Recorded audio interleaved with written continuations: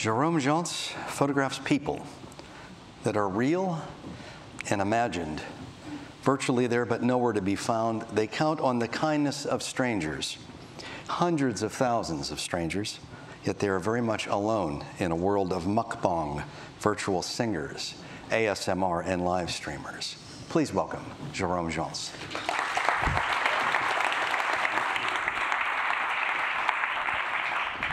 Hello, good afternoon. I have a French accent, but I think I'll be fine. Virtuality has always been a big part of my life. As a child who grew up on a small island you cannot even see on a map, the only chance I had at this time to travel was to imagine what was behind the ocean. I had no internet, of course, no magazines, unfortunately. Among the places, I dreamed to explore the Himalayas. Later, I moved to Paris, and after my study, I became a web analyst. I had a really comfortable life by working on internet. But in 2013, thanks to a documentary watched on YouTube, my Himalayan dream came back to me again. I quit everything in France to give a chance to my dream. I started a journey by land to the Himalaya, and along my way, I discovered photography.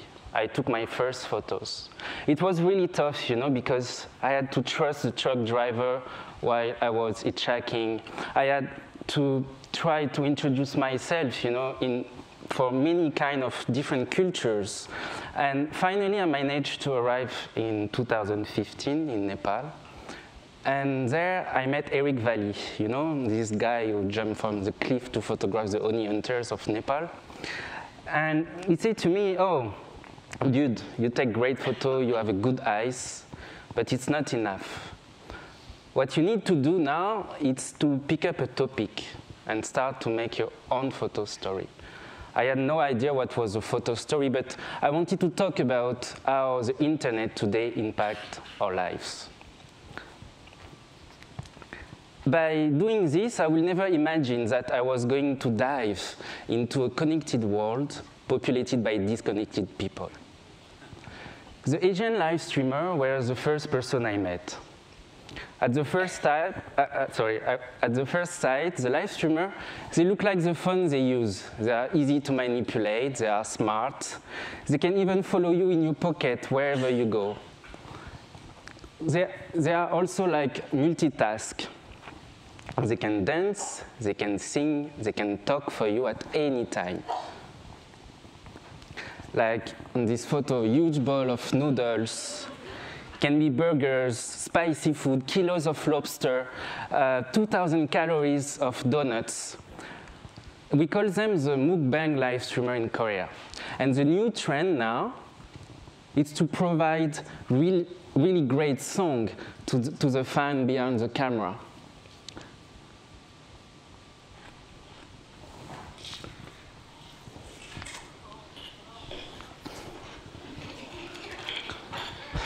So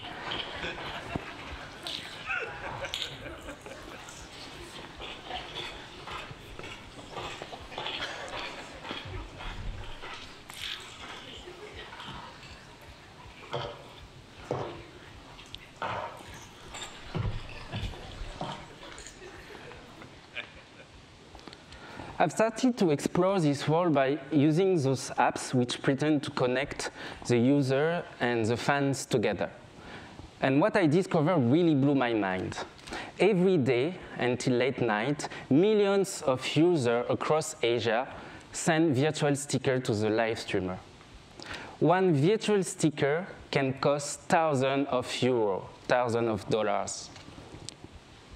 I was obsessed, you know, to figure out What's so special with the live streamer to make the fans so addicted to them? I wanted to put a face on the username. To do so, I had to forget everything I supposed to know about my job as a web analyst. You know, you cannot open, it's not enough to open the life of people home just by statistic figures or tracking code. You have to get back to something more essential. And for me, it was listening questioning, and observing. And this is maybe my definition of storytelling. It's the place you are ready to give to others in your life. And for me, it helped me to capture this invisible link which link people together in the reality. In this way, I met Genji. He's from Taiwan, and he worked as a worker in a factory, and he said to me, you know, I have no one, no friend to talk with. I watch the live streamer because they are the only one who can remember my name. They are the only one who can remember my name. That's the reason um, Genji keeps 30% of his salary every month to offer the virtual sticker to the live streamer. Like him, 30% of Taiwanese, 30% of Korean declare that they have this feeling of loneliness. We are surrounded by millions of devices, by millions of peoples, but in case of crisis, we struggle to have someone to talk with. I also met Gondo in Taiwan as well, and he never had a girlfriend. And secretly, inside his room, because he still lives at his parents' home, he can experiment what it looks like to feel in love for someone, thanks to the live streamer. And this lack of relationship in the reality feed a huge loneliness industry. Some live streamers, they say to me they can earn $500,000 a month just by receiving virtual sticker from the fans. And you can clearly understand why in China, almost 50% of the Chinese students consider to give a try to become a live streamer in the future. Because in one month, they can earn what they will have to work 10 years in a hard working in, in their village. And by the way, also a dog can be a famous live streamer and have an Audi car. the owner of those apps, live streaming apps, are definitely the biggest winner of this game because they know perfectly how to take advantage of what the fans they miss the most in the reality love, friendship, and intimacy. But what is the price to pay behind? And I was so surprised because the fans, of course, they don't know that behind the colorful background, the live streamer have to work 16 hours a day, seven days a week, without any break. Because for the fans, losing for the live streamer, sorry, losing fans doesn't mean losing friends. It means losing money. And let's go back again to those colorful background. You know, it's crazy because the live streamers, they know how to promise intimacy, colorful background, but in front of them, they don't even have a window. And those live streamers are completely under the control of the fans. Like uh, on these photos, I photographed um, Lee, and he had a punishment from the fan because he arrived late at his live streaming session. So he had to sleep in front of the camera for the fans. And photographing Anse, a Korean live streamer, was like a warning for me. On these photographs, she was blocking the camera against her body to avoid the fan to localize uh, where she lives. Because some fans, they try to zoom, you know, uh, into the eyes of the live streamer to try to guess where they live. And the same night, she lost her phone and she was completely under panic. And of course, because she put all her memories, secret photo inside. And she success to be a really great live streamer. She earned uh, $20,000 a month. But now she struggled to um, feel her life of happiness. And she, she has to wear masks, different kind of masks, like this one to make the, you know, the face uh, whiter, to make sure to, to please the fans. And this is her. But there is no time for the live streamer to complain too much because besides some other virtual idol with endless possibilities are so well motivated to try to attract the fan to make them fall in love for them. This is Hatsune Miku. She's the biggest virtual singer in the world. She doesn't exist, she's just an hologram.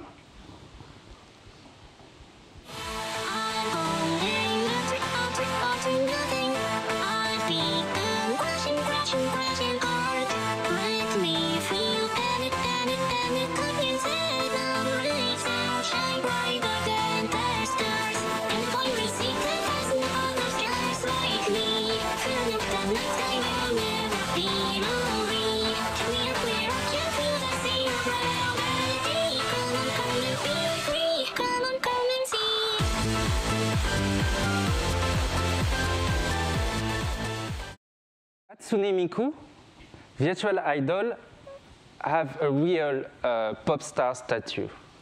Attending one of the concerts cost 200 euro, dollar, sorry, I'm still in France. and for a good reason. For the, um, for the fans, the virtual idol are finally like this spark into um, the darkness of the fan life. But it's more than that. I met Andy, he's from Taiwan, and he said to me, you know, the virtual world is like a religion for us, but in a better way.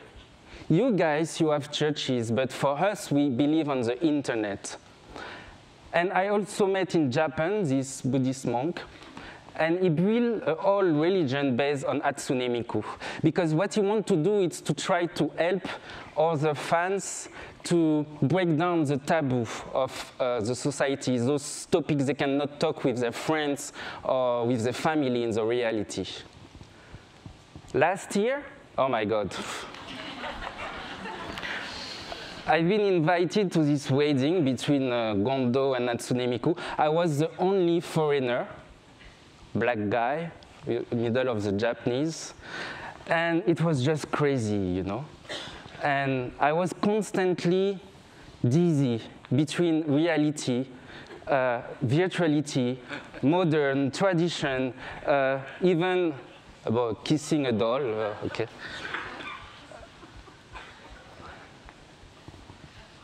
Even between um, doll guest and human being guest. And Kondo um, paid $15,000 for this wedding because he believes that he, he considers himself as a pioneer. What he wants to do is to help all the other fans to finally be happy uh, by loving a virtual idol. And they don't care too much, those fans, about uh, to share Hatsune Miku. And I met Roger, and Hatsune Miku is everywhere, from his car to his home and is his office. And thanks to At Hatsune Miku, he shares also um, his daily life with her on Twitter, and he can travel the world with her. And he attends all the concerts of Hatsune Miku. In France, I met uh, Xavier. He's a French fan of Hatsune Miku, and he said to me, you know, human being disappointed me. Everything in the life today, in the reality, is not made to last. And finally, thanks to Hatsune Miku, I found a shelter. One month ago, I get back to Japan because I really wanted to have some news of Kondo and his wedding. And it was his first anniversary. And he shared with me some photo of the honeymoon. And I say, but, and, and we talk about, uh, you know, the differences between uh, real, real uh, relationship and virtual relationship. And he said to me, of course, there are many differences.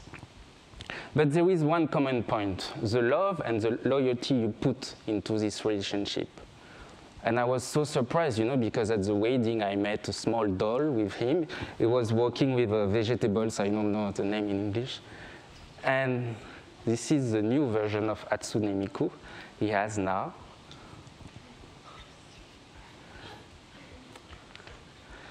And I was keeping thinking about this uh, virtual world, you know, because uh, it's just crazy for me. And I finally understand um, what the fans they think. And of course, they know that those virtual idols, they don't exist. They are not stupid people. But finally, Thanks to those holograms, the love will last forever. Thank you.